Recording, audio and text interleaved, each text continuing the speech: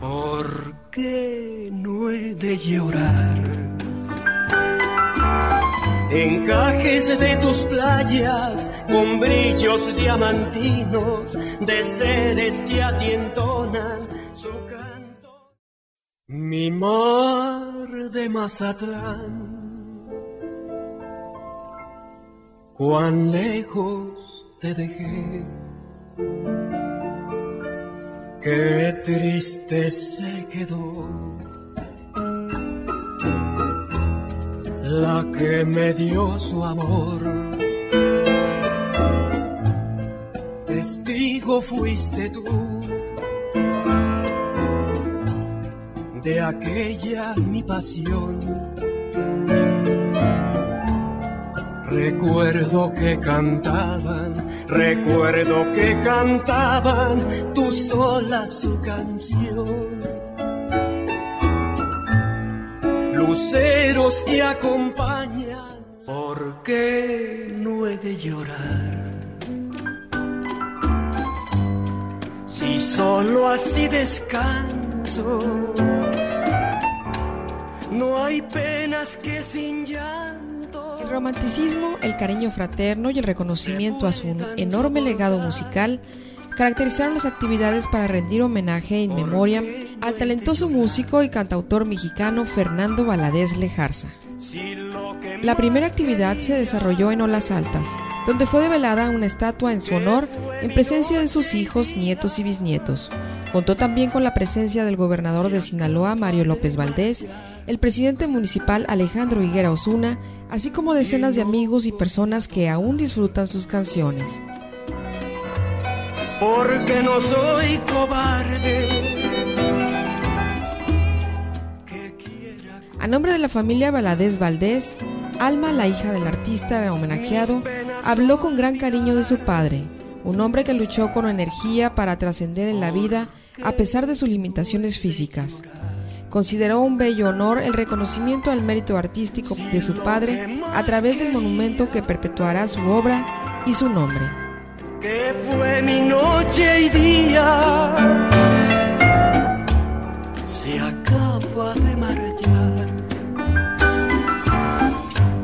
Mi padre fue un hombre extraordinario y a pesar de su discapacidad, ya que tuvo que usar muletas desde muy pequeño, por haber contraído la polio a la edad de dos años, nunca utilizó esa deficiencia como excusa para luchar por la vida.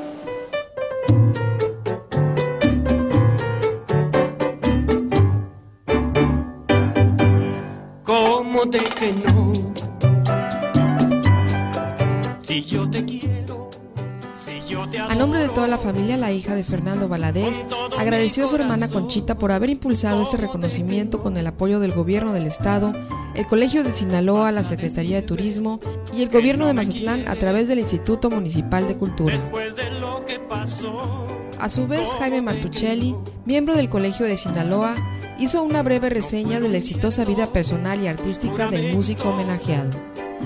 Al referirse a la escultura, precisó que en la propuesta plástica acordada entre el escultor Pedro Jiménez Corona y la familia, no podía concebirse el artista sin su inseparable piano. Si tú eres mía, la cual no hubiera sido posible sin el apoyo irrestricto del señor gobernador y el empeño incansable de la familia. Que tú me diste Presente en el Presidium, el cantautor sinaloense José Ángel Espinosa Ferrusquilla habló con nostalgia de su amigo Fernando Valadez, quien realizó una meritoria labor como delegado de la Asociación Nacional de Autores y Compositores en el Estado de México. Eh, yo me referiré de manera muy directa y muy breve a mi relación de amistad con Fernando Valadez. Siendo yo directivo de la Sociedad de Autores y Compositores en México, él era miembro de la organización. Estábamos atravesando por una situación económica muy difícil en la sociedad y descubrí que el gobierno del país eh, nos podría dar facilidades para obtener cierta mercancía con la cual podríamos establecer una tienda que empezó en 1950 siga por la eternidad. Muchas gracias. Fueron mentira verdad. ¿Cómo de que no? En la parte final de los discursos, el gobernador de Sinaloa felicitó a la familia. Si tú eres mía, si yo soy tuyo, ¿cómo de que no? Hoy estamos revelando esta escultura, esta estatua, en homenaje a don Fernando Valadez. Y como gobernador del estado, me siento muy congratulado de que a, a hombres talentosos como don Fernando hoy los perpetuemos y los mostremos con dignidad. Más tarde, por la noche, en una extraordinaria velada, el Teatro Ángela Peralta fue testigo de la interpretación del gran legado musical del cantautor mazatleco durante el homenaje ofrecido en su honor.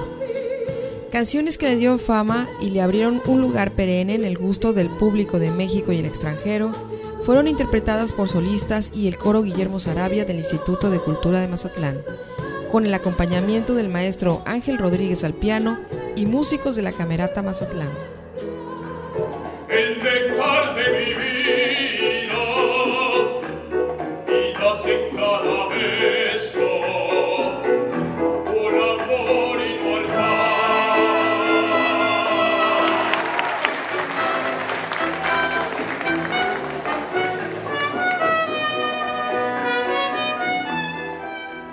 El espectáculo producido por el Instituto de Cultura de Mazatlán a petición de la familia del artista homenajeado inició a las 7 de la noche y entre los invitados asistieron artistas y personalidades del ámbito empresarial, político y el sector social.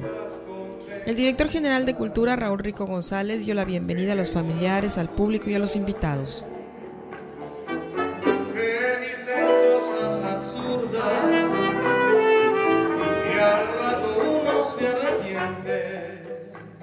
Por eso que antes de iniciar este acto, queremos reconocer como un talento de Sinaloa, como un talento de Mazatlán, a este artista, Fernando Valadez de Jarza, que nos dejó un, le- un legado inmenso de recuerdos de su arte, llenos de, de romanticismo y sobre todo de cariño por su gente y por su tierra.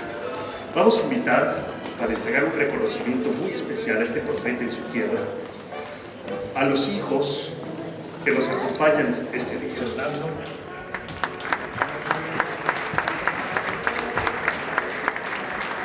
A Eduardo,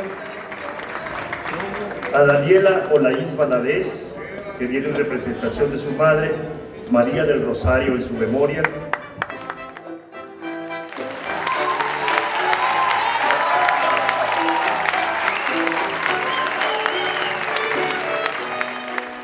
Teatro casi lleno y en presencia de funcionarios estatales como la directora del Instituto Sinaloense de Cultura, María Luisa Miranda, y miembros del Colegio de Sinaloa, entre ellos el presidente José Ángel Pescador Osuna y Jaime Martuchelli, el alcalde Alejandro Higuera entregó el reconocimiento profeta en su tierra a los hijos y nietos del homenajeado, para honrar la trayectoria del connotado artista mazatleco.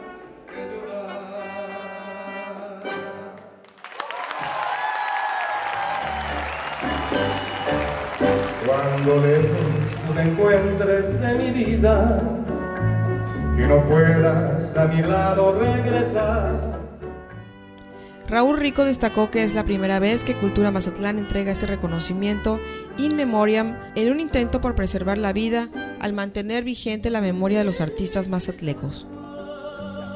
El público expectante pudo conocer la amplia trayectoria y los méritos personales del artista mazatleco a través de un video semblanza para después escuchar en voz de los solistas del coro Guillermo Sarabia y de invitados como Ernesto Coppel y uno de los hijos del homenajeado Guillermo Valadez los temas que le dieron fama y fortuna a Fernando Valadez.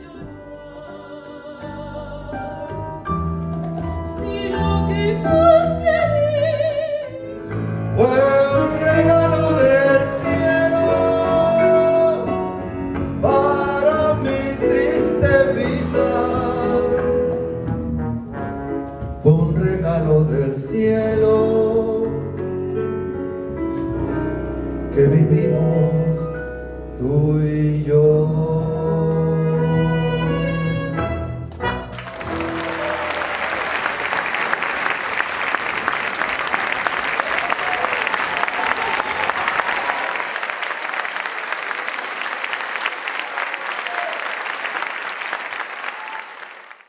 ¿Por qué no he de llorar?